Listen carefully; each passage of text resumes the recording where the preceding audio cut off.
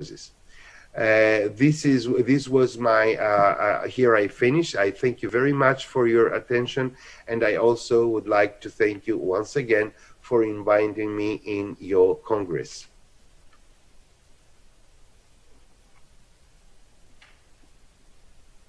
Thank you very much, Professor Grigoriadis, for your perfect lecture. There are no questions. Уважаеми колеги, продължаваме с следващата лекция, която е на а, професор Антоначи за главоболие, причинено от злоупотреба с медикаменти и европейския гайдлайн. Uh, we go to the next lecture, Professor Antonacci, Medication Overuse Headache, the European Guideline. Professor Antonacci, hello. Hello, good morning. Good morning. Thank you for inviting me to this uh, interesting congress. I had already one uh, talk on this topic uh, yesterday. I would like to thank you, the colleagues that are listening, and the chairman of this uh, section. My duty much. today, now I have first I have to share my slides. Uh, should be this one. Is it okay like this? Can you see the slides? Yes, of course. Very good. And now I move a little bit all these things. Okay. Uh, so my duty today is to uh, speak about the medication overuse headache. Uh, we had the chance to say that uh, this is a problem affecting uh, almost 1 to 3% of the general population. Um, this is my first time that I speak about the European guidelines uh, after the publication of, of uh, a paper. I think I should move the, the screen. Okay. Oh. Like here.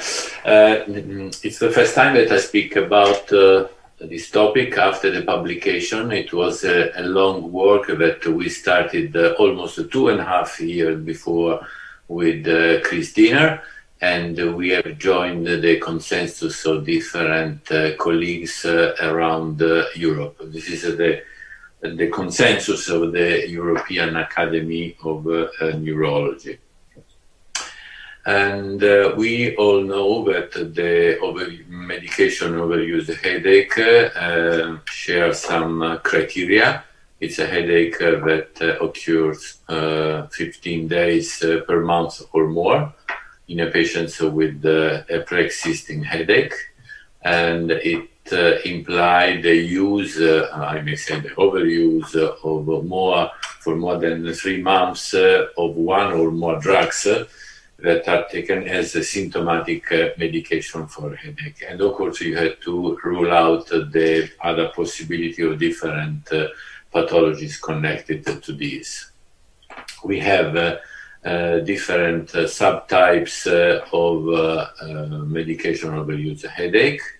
And we have a group where you have to have for the criteria the intake of more than 10 days per month of medication. And this implies uh, uh, ergotamine, uh, triptans, opioid, uh, combination analgesics, uh, a different class of medication, sometimes drugs that are not specified by the patients, uh, or you may have the intake of more than 15 days per month of non-opioid uh, medication like paracetamol, non-steroid analgetic drugs, and so on.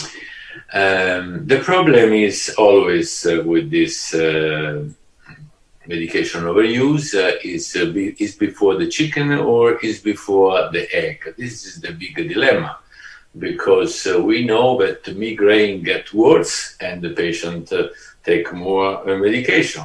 And if the patient takes more medication, the migraine get worse. So we don't know if uh, uh, it is exactly the chicken or the eggs that uh, turns around this difficult and um, expensive pathology. There are several factors that are associated with the, um, the acute medication overuse. If we see the the drug that are most used, uh, this recent work, uh, we see that uh, in green uh, we have a patient that are not uh, uh, overusing medication, and in violet patients with medication overuse. In this case, in both cases, we have a, a, great number of non-steroidal analgesic drugs then it comes uh, triptans, and you see the opiates uh, uh, are coming more and more, especially in the group of uh, patients overusing medication. So this is really a big problem. probably this was something that is a new trend that was started in the States and now it is expanding in Europe to use opioids in headache. And now the, uh, the European guideline. We know that uh, usually the guidelines are made with, uh, according to some questions uh, that uh, follow the PICO rules, the population uh, intervention, control, and outcome. The questions that we have been set up for our work are, are seven. Uh, the first one is the information uh, and education effective to prevent uh, medication overuse headache in those patients that are at risk of developing medication overuse. And the second one is uh, uh, if pharmacological preventive therapy is effective before developing the MOH in patients that are at risk. And then the third one, it's about the education and counseling that could be effective in the treatment of MOH. And if the fourth is uh, uh, the preventive medication and uh, non-medic and non-pharmacological treatment uh, are effective in medication overuse headache.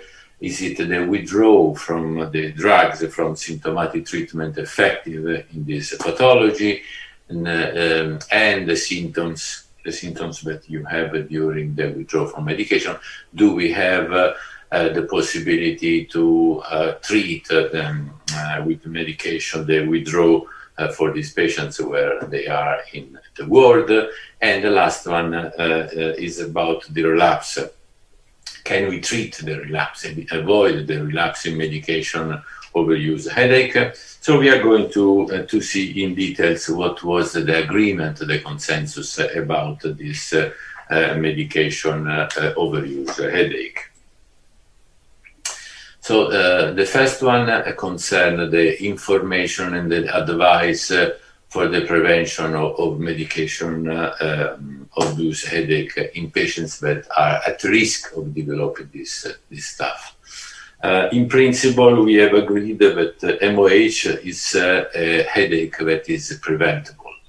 Um, it is known, and uh, we have um, experience that the, the increase of awareness in the population and in your patients uh, and in in the people treating headaches, so nurses, uh, doctors, and so on.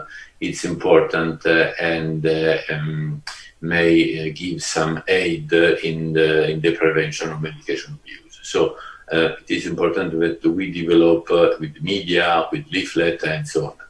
Um, that we have experience also in our uh, department that uh, if we use uh, a brochure or education course like the one that we make during the withdrawal when patients are in the hospital, this is important uh, to prevent, we see less uh, uh, relapse of medication overuse when patients follow this um, the advice and the information that we provide. So this is a, a, consensus in favor of this um, of this item. But of course, it is only at the level of a good clinical practice, but it is something that we should apply in our patients.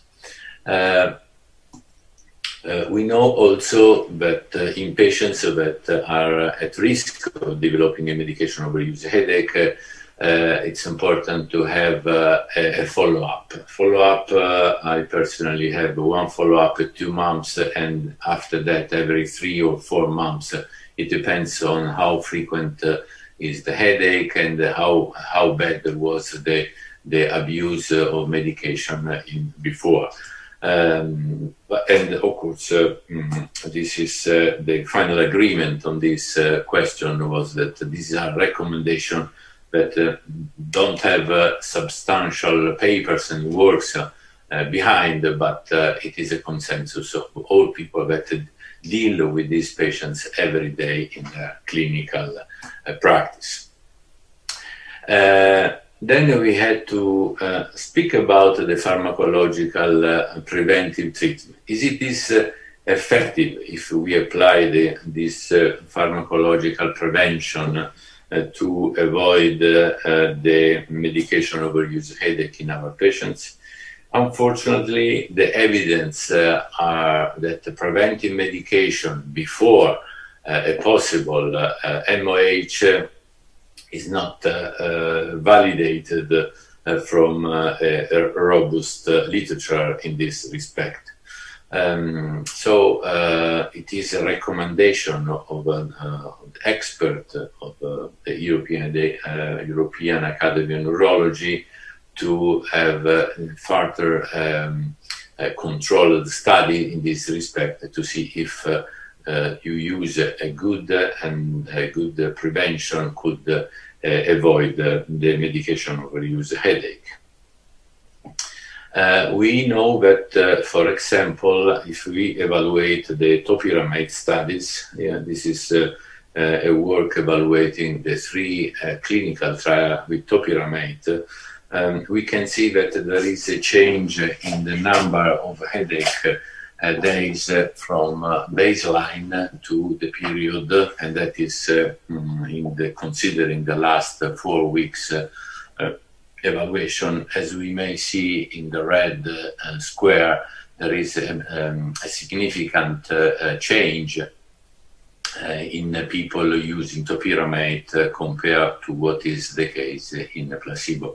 Even in the, in the total number, there is a significant difference, 3.17 versus 1.72 uh, days uh, um, uh, of headache in the patient. So uh, probably topiramate uh, is one of the drugs that should be used in this respect.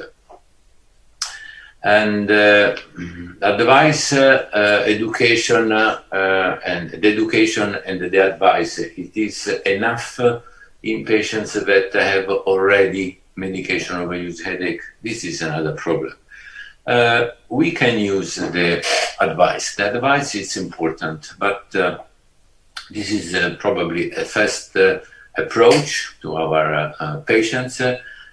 in those who use triptans or simple analgesics, and in those that they don't have major psychiatric problem or comorbidity that can affect the the whole disease. Advice can be provided by nurses. Uh, in some countries, there are technicians, uh, general practitioners, sometimes neurologists in private practice because it is something that takes time.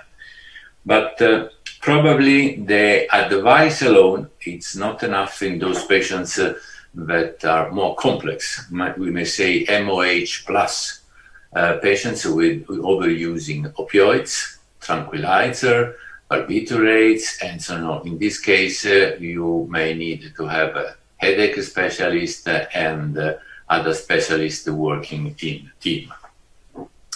Uh, there is a contribution showing that uh, uh, probably the advice uh, alone can be of efficacy in patients with medication overuse headache. This is a contribution from Norway evaluating 109 cases with chronic headache and medication overuse with a long, relative long follow-up of, of one and a half year.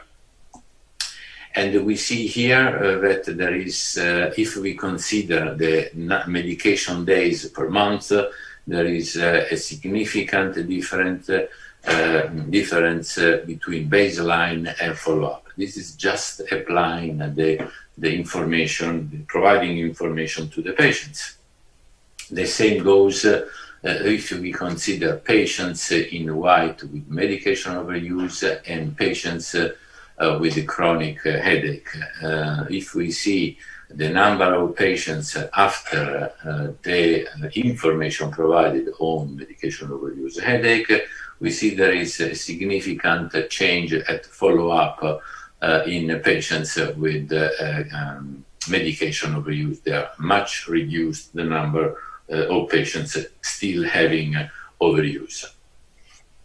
And then there is another contribution from Italy, uh, sometimes in 2006, uh, that was a comparison between uh, a group of patients um, trying a, a, program for medication overuse headache, one group with simple advice compared to a group with structured uh, outpatient program and another group uh, with structured in uh, structured inpatient program. So patients in the ward, patient outside, and simple advice. This was a, a follow-up I say, relatively short, but uh, eight weeks uh, is not that bad. And we may see that in Group A, Group B, and Group C, the number of reduced uh, uh, headache days per month is not statistically different. And the same, the number of reduction of medication um, days in a month is not statistically different, the last two uh, lines. So this means that probably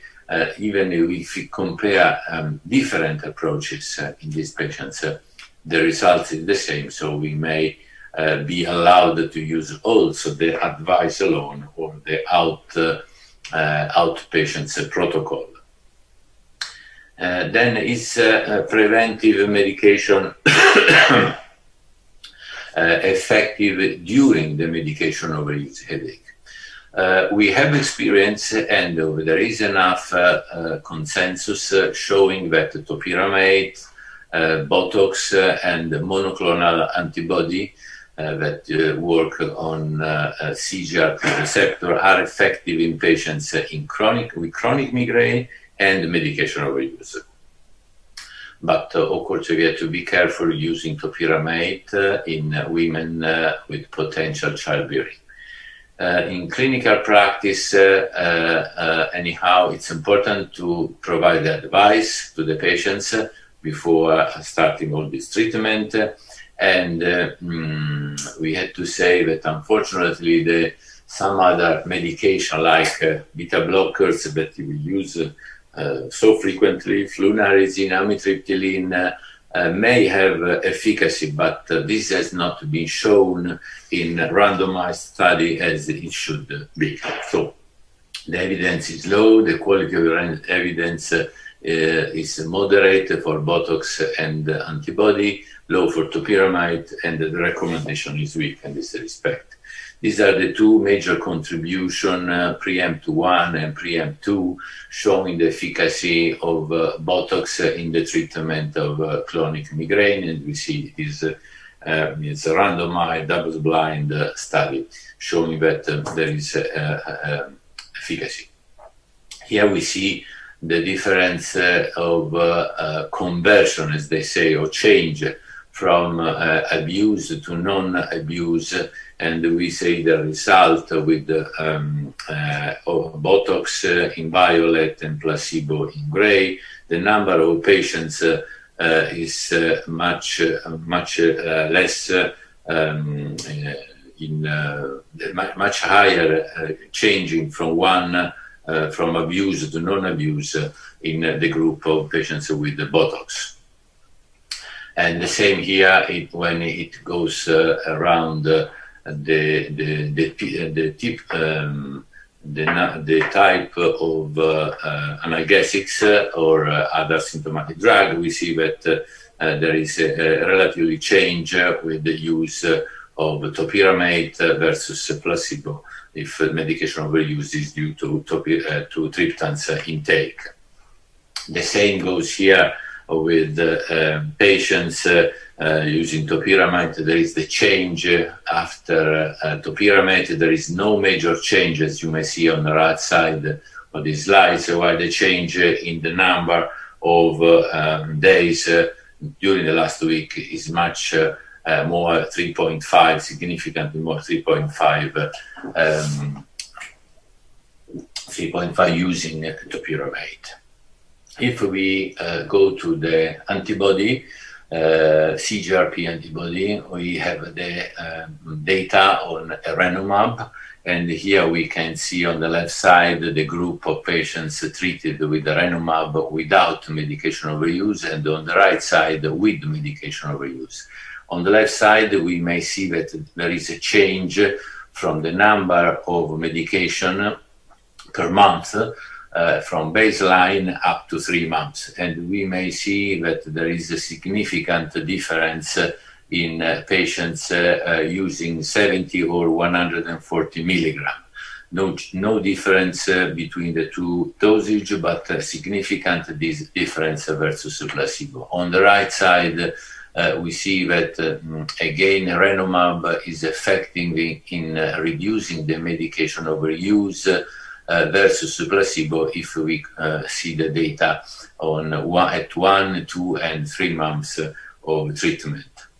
the same goes with the other antibody, fremanezumab, that uh, is able to reduce uh, in patients with the medication overuse. These are data at four weeks and 12 weeks um, the difference uh, is more or less the same in the one using quarterly fremanezumab or monthly fremanezumab. And we see that there is a statistically different uh, change from uh, in the number of monthly average migraine days uh, in the group of patients compared to placebo. So we may uh, say that the monoclonal antibodies are effective medication overuse headache. Then there is uh, um, the withdrawal, and the problem of withdrawal if it is uh, uh, important, effective in the medication overuse headache. Um, withdrawal, uh, according to the consensus, uh, is effective in uh, reducing, achieving the overuse and restoring a episodic pattern of headache. So there is a change from chronic to episodic pattern of headache and uh, this is in a, has been shown in high percentage of subjects published in the literature. Withdrawal is, uh, is associated also with uh, a reduced uh, health cost uh, for the, our national health system and improving an improvement of quality of life if we consider depression and anxiety that are always um, associated with this kind of headache but there are some uncertainty that uh, are uh, still present if uh, uh, when uh, this uh, preventive medication should be used, if it has to be early or late during the um, withdrawal from medication. So the evidence is moderate, but the recommendation to withdraw is very strong. Here we have a contribution showing that the complete detoxification is effective.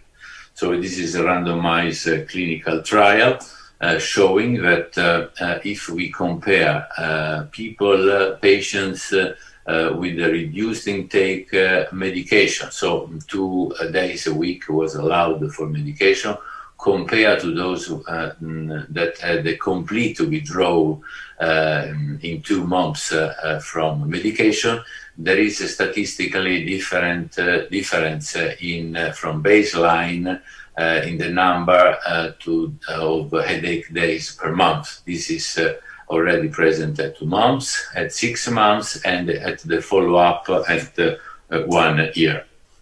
This is a a nice, uh, uh, interesting contribution about the treatment of the medication overuse headache. There is a systematic uh, review. Uh, only probably Chinese people can have the patient uh, to work and work and analyzing all these paper, papers. And uh, here we may see that um, there are some, mm, there are 68 studies that have been evaluated in details, showing how, how is uh, the best uh, way to approach this uh, problem.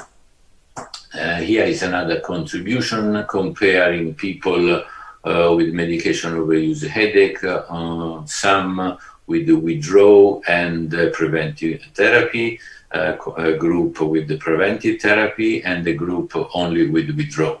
Uh, probably if we um, uh, look at the last two lines, the best treatment, the most effective treatment is withdrawal from analgesics and symptomatic treatment and addition of preventive treatment in these patients. As we may see here, on the left side, there is a change in the headache days, and we may see that the group in uh, green uh, with this small ball is uh, the one with withdrawal price prevention is the most uh, effective in changing the number of days per month uh, of headache. And the same on the right side, the change in migraine days uh, in at um, six months is much better.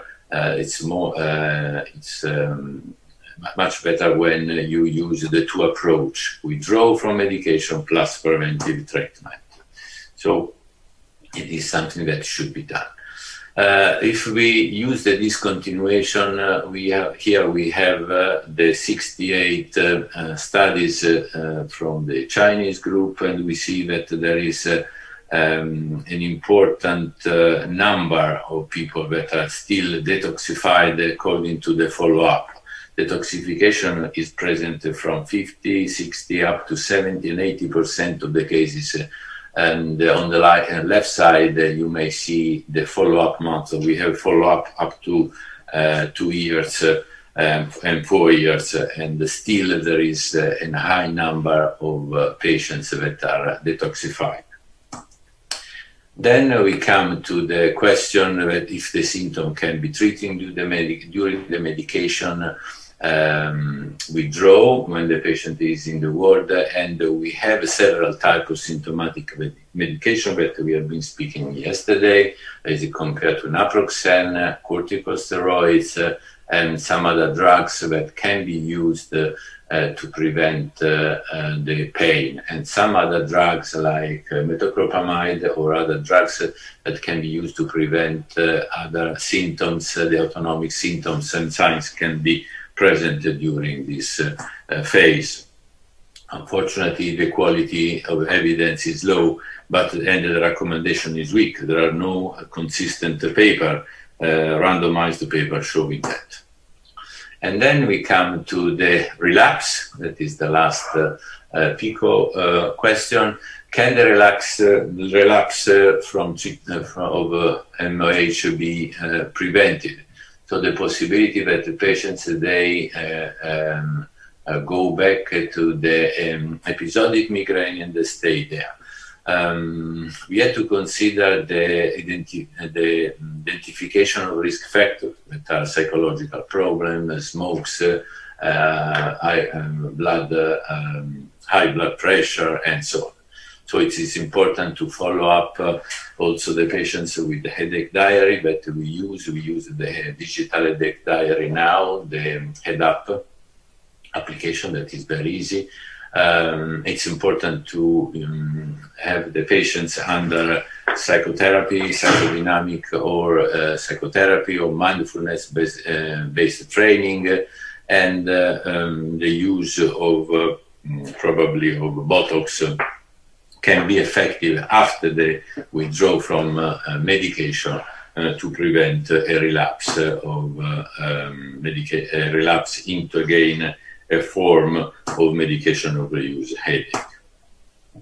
Um, uh, unfortunately, up to now, the evidence of the procedure to avoid the relapse are not sufficiently validated but uh, we may say that after a proper uh, withdrawal from medication, the possibility of, of using short-term psychotherapy, Botox, and other drugs like the new antibody uh, may prevent the patients to uh, get again into the um, situation of medication overuse headache.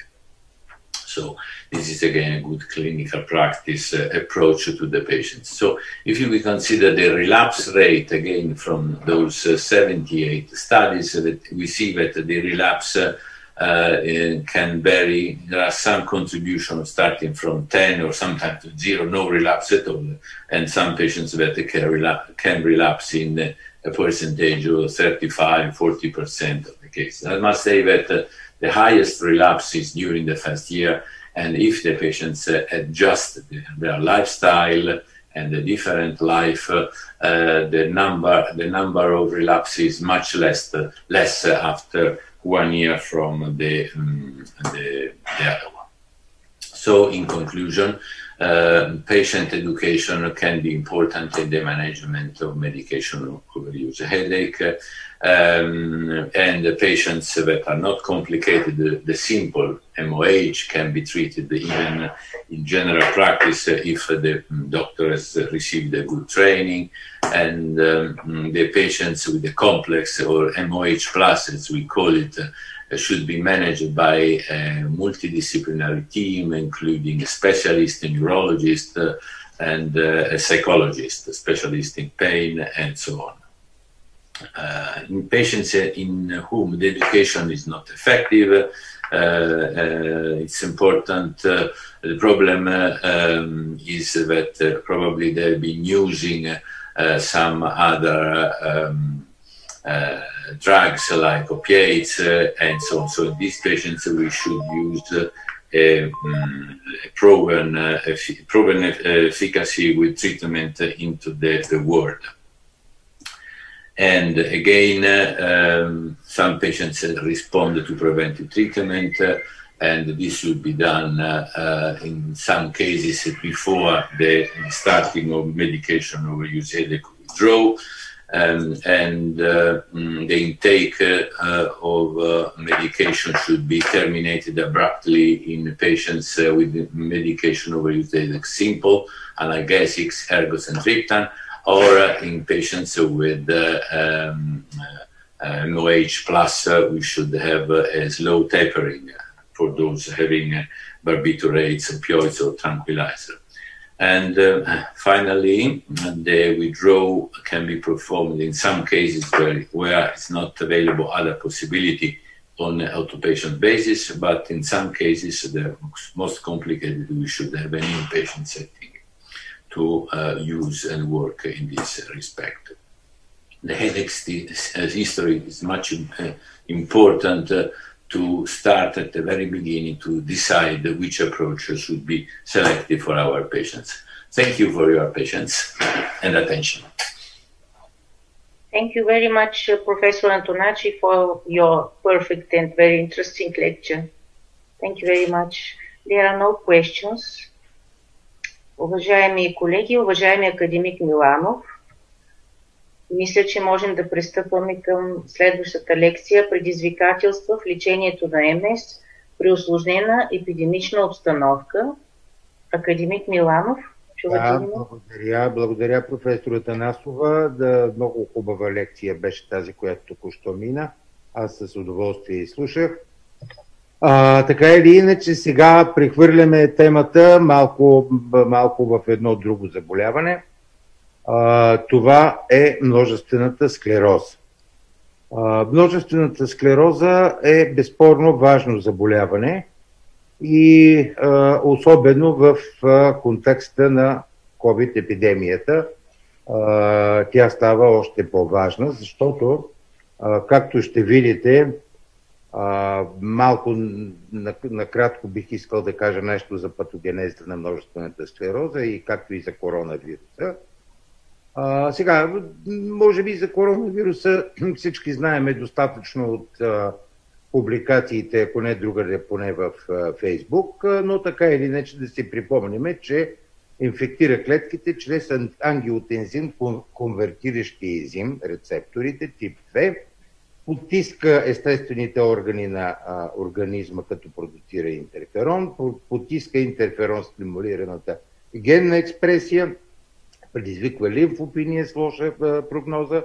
А, и сега точно тук става проблема, защото модифи... някои от модифициращите лечения за множествена склероза намаляват броя на лимфоцитите или на техните субпопулации.